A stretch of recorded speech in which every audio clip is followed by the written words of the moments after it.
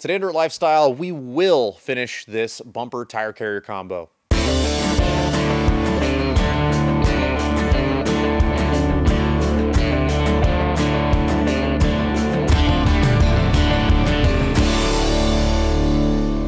Today's video is brought to you by Empire Abrasives. All the cutoff wheels, grinding discs, flap discs, sanding equipment, everything I used to shape the bumper in this video came from Empire Abrasives. They have high quality products at very affordable prices, and if you use coupon code DIRTLifestyle at checkout and it's your first time there, you'll save an additional 10%. If you're looking for an easy way to save some extra money for your next project, I highly recommend checking out Empire Abrasives. In the last video, we made the overland table that is going to be the crown jewel of this tire carrier build. We also made a latch system that's going to give us a third point of contact and make this a lot more solid. Now we're ready to do some grinding, we're ready to do some cutting, we're ready to do some shaping, and finish this job once and for all.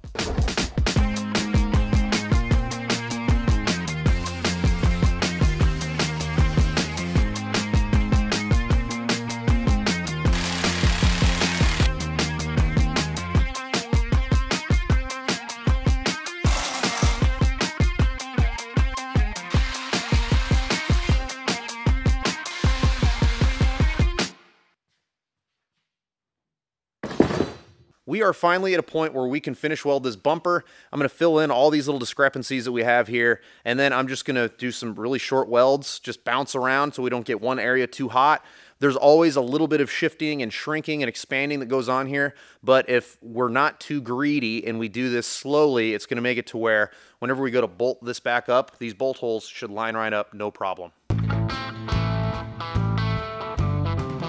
When I build projects that are shaped like this, I like to tack on something to hold it true as I'm doing my finish weld and finish grind, just to make sure that while things are trying to expand and contract and they heat up and they cool down, we don't have a whole lot of movement in the ends of this corner protection.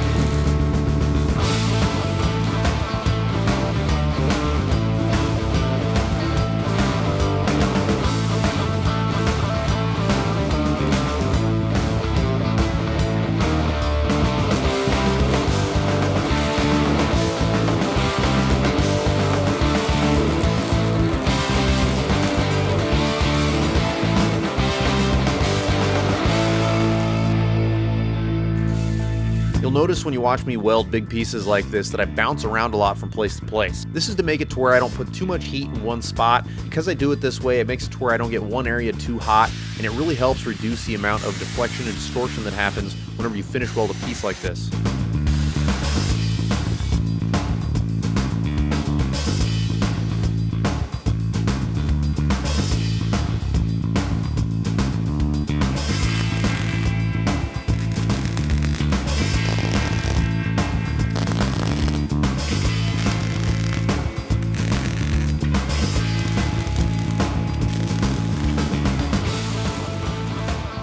To weld what I think is the most bend prone area, I guess bend prone, of this entire project. And that is this like 18 inch or so butt weld on this corner. Now the bumper is super strong right now. A lot of this has been finish welded and we've got some really good joints um, throughout this bumper right now, but we could still warp it if we just welded this uh, 18 inch span. Even if we did it in incremental welds, it's still prone to uh, bend a little bit. And the way that I have discovered works the best to keep that from happening is by giving yourself a little bit of a gap for the weld to fill.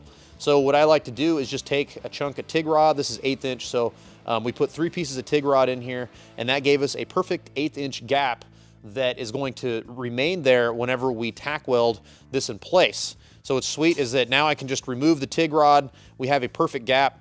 And then as I go through and weld this, if there's so much force that it could bend this bumper, which right now is really strong, then that's gonna be enough force to just pop one of these tack welds. So we kind of have a few built-in fuses here, which is great.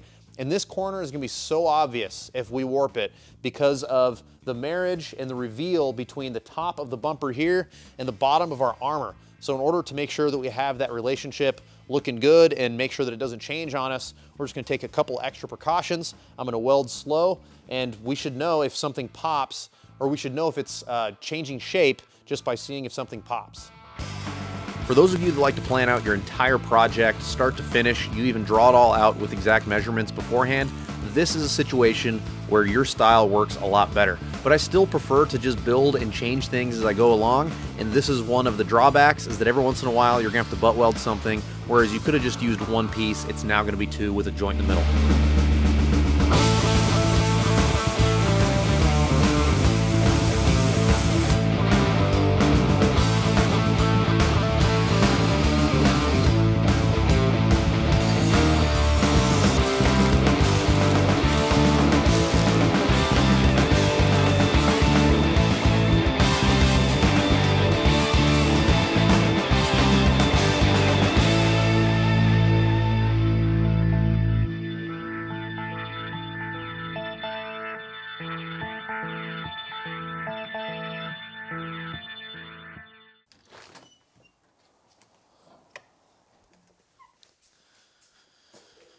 Whew, this was a late night.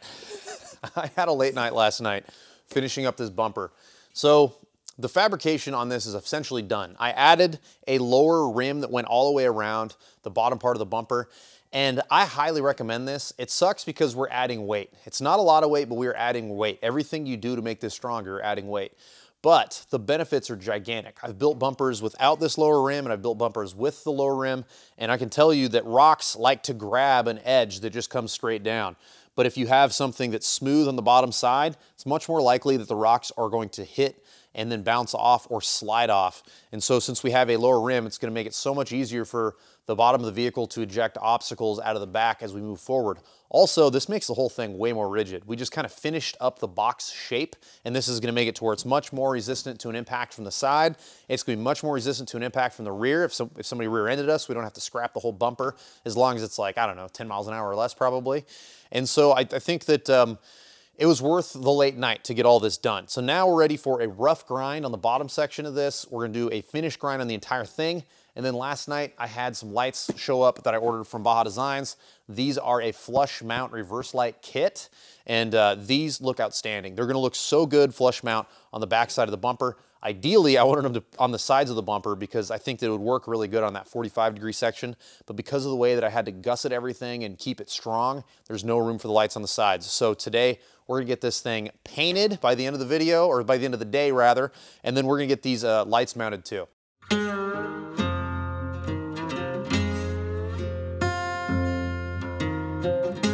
For those of you that have yet to bite off a project this big, it's hard to overstate how time consuming it is to finish grind, finish weld, really polish up your surfaces to where the paint lays on super smooth and silky. The amount of time that you put into this process directly correlates with the quality of work that you will get out of it.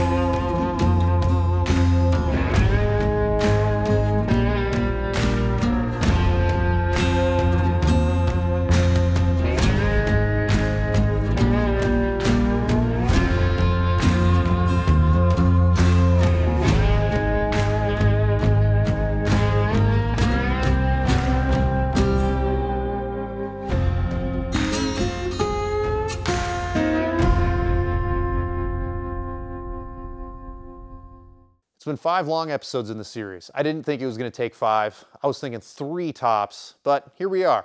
We're finally at a point where we can judge it, we can look at it, we can talk about what we would change, what we would keep. And all in all, I'm, I'm happy with it. I'm proud of the job that we did here. I think that the backup, the reverse lights from Baja Designs look sweet. They're very like streamlined and flat. I think those look great. I think that the uh, extra work that I did on these corners um, was definitely worth it.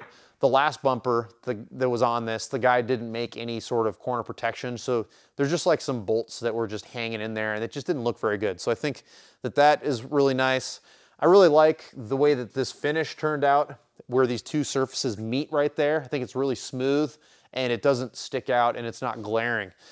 I think that the only things that I would really change at this point is I would probably change that latch mechanism. I like the latch mechanism and it's gonna stay, but if I was gonna redo it knowing what I know now, I would build one lever that undoes two separate latches um, and I would make sure that that one lever has some sort of a pin that uh, makes it to where there's no way that it could just accidentally open. So the way it's set up right now, and I would also, I'd build my own latches as well.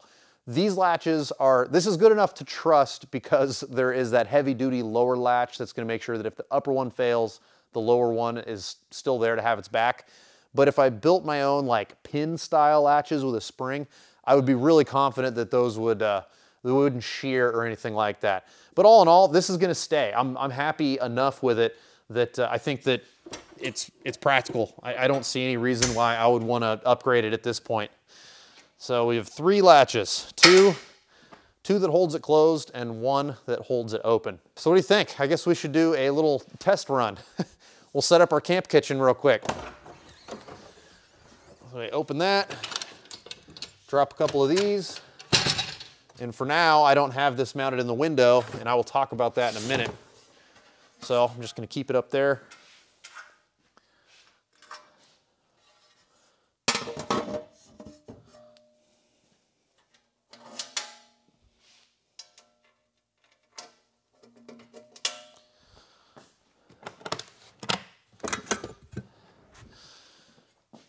And we are ready to cook. This thing is it's quick. It's quick and easy setup. That's kind of the point of a lot of overlanding setups is making it to where you don't have to spend all day tearing things down and setting them back up. You can just live that nomadic lifestyle and have things be fast. That rooftop tent pops up and closes up quick. Our kitchen pops up and closes up quick. You know, if we need to get into our fridge, boom, get into our fridge, get some stuff, prep it on the table. I like what I'm seeing here. I think that this is gonna be a lot of fun to go out and use. Let's talk about this rear window real quick. The rear window, I was considering aluminum, I was considering plastic. I haven't decided which route I'm gonna go, so we're just not gonna do it yet. So that won't be done in this series, but I would say for a tire carrier series, doing a rear window is kind of a stretch anyway. So I'm just gonna do a video in the future that'll just be me building that rear window, whether it's out of plastic or aluminum. I need to weigh all the pros and cons of both and decide which route I'm gonna go but it's not holding me up, so that's not something that I'm gonna be addressing soon. I still wanna do all the electrical on this thing. I wanna do the uh, onboard air system in this thing, and that's gonna be a complicated system to see what I'm talking about when we get there. So there's a bunch more work that needs to be done, and I'm not concerned about that rear window at all. But for now, I think this video is over. I hope you guys enjoyed this series. I hope you guys enjoyed this video, and I'm curious to see what your thoughts are on the whole setup. I know that I can be proud of this and the fact that it is a one-of-a-kind setup, but there's always something that you could make better, right? so um, I think this is the best that I could do with the abilities that I have right now. And in the future, when I do other overland builds like this, um, you'll see some of these ideas be incorporated and hopefully every time I do one of these, they just keep getting better and better. Let's run through some quick comments from the last video. And we're gonna start with Ethan Secrist. I was watching the Ultimate Adventure 2020 and couldn't help but think how sick it would be if uh, to see one of your rigs on that trip. We need to see that. Dude, I would love that. I really hope that one of these years I get the opportunity to go on Ultimate Adventure um, maybe 2021, 2022, who knows? I've got a bunch of rigs that I'd love to take.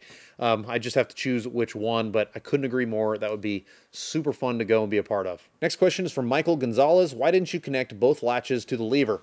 Well, if you watched the series of how all of that came to be, I didn't have the idea for that latch system until the fourth episode. And so I already had the lower one installed and I'm happy enough with those two separate latches. I think that it's still very practical and it doesn't take a long time to do the two independently. But like I said, in the future, I will build a latch system that will be one lever that undoes two latches or maybe even three, depending on what the uh, project is. Who knows what I get myself into. Um, but this is just the reality of the situation. When you build as you go, sometimes you come up with ideas to make something a little bit better, and this is just how it, it turns out. Jeep and Dave, sweet work. I'd be afraid of water getting in and freezing the in the sheath facing upward in the cable.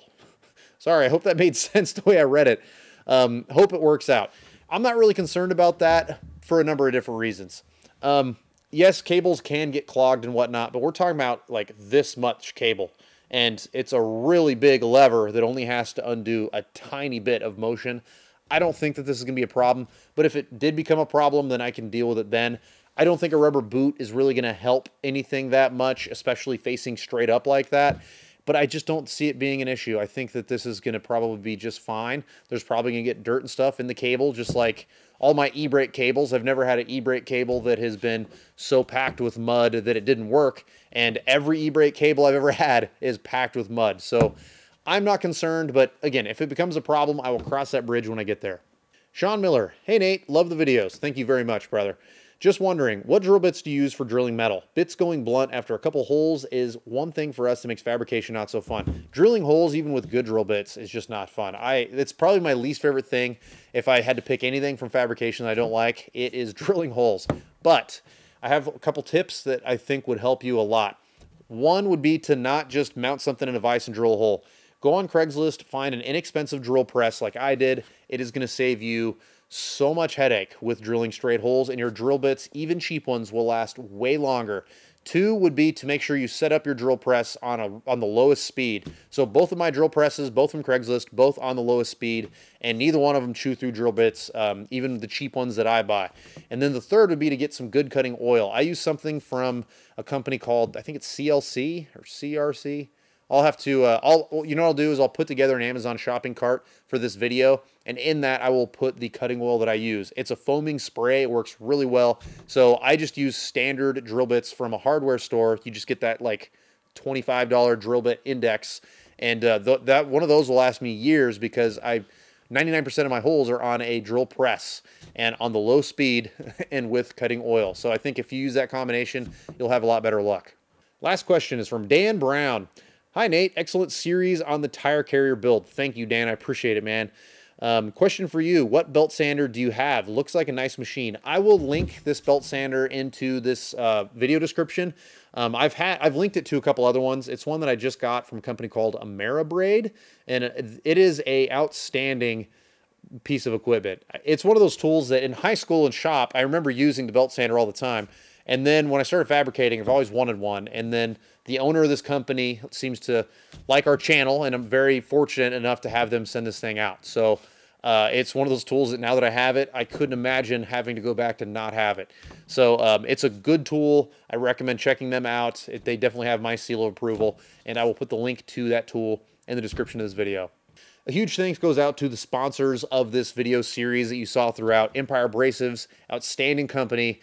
Barnes Wheel Drive, outstanding company. And then even EMS Off-Road. They supplied the hinge and the latch mechanism that you guys saw. All three of those companies so far, all the work that I've done with them has been awesome. So big thank you to those companies for helping us make this series. And thank you to all of you for hanging in to five videos. I've always wondered if doing a longer mini series like this would do well. And so far, all the feedback from you guys has been great. So if you do enjoy these, make sure you give them a thumbs up. And if you're a regular watcher of the channel and you haven't subscribed yet, please subscribe. That helps um, show companies like Empire Abrasives and Barnes that we're worth the investment because we've got a good subscriber base, people that regularly watch our videos and, and want to stick around and see the content that we make. If you want to help support the channel, you go to thedirtlifestyle.com. We have t-shirts, hats, neck gaiters, decals, that decal that you guys saw me use on the back of the uh, Land Rover in this video. My wife just made those. They're super awesome. It's like a topographical DL logo. So um, those will be at our website, thedirtlifestyle.com. If you want to help support us on Patreon, we have a Patreon link at our website as well. If you want to follow me on social media, I'm at Dirt Lifestyle Nate. We'll see you next time.